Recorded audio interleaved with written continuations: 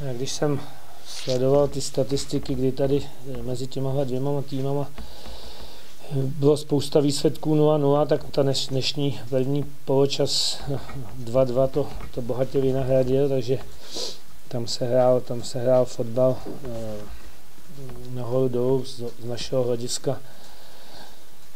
Jsme se dostali, jak jsme se lehko dostali do vedení, tak, tak jsme o něj přišli jednou i po druhý nefungovala nám defenzíva, defenzíva naší pravé strany.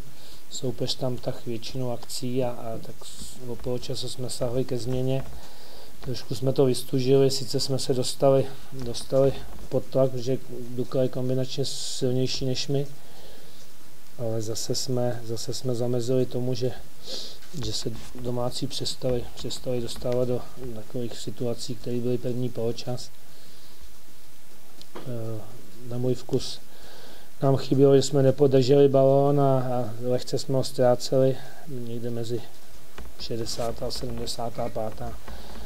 Potom jsme se z toho tlaku vymanili, měli jsme tam břevno, to jsme neproměnili, tak asi z celkového pohledu. Dukla byla víc na míči, byla kombinačně silnější, ale vidím tu remízu jako zaslouženo.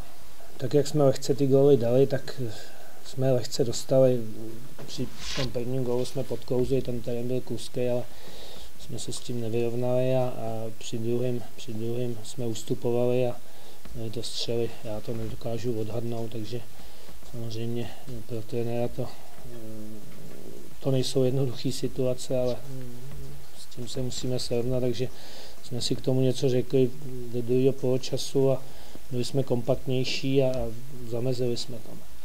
Nám nefungovala defenzíva naší ne, nebyla defenzíva naší eh, pravé strany a, a po té po tý, po tý straně soupeř tak, vě, tak většinu a, a bylo tam spousta centrů a takových ošemetných situací a, a nitranský eh, vlastně Hanouska, Hanouska přikryl a tím, tím, tím soupeř po této straně přestal být nebezpečný.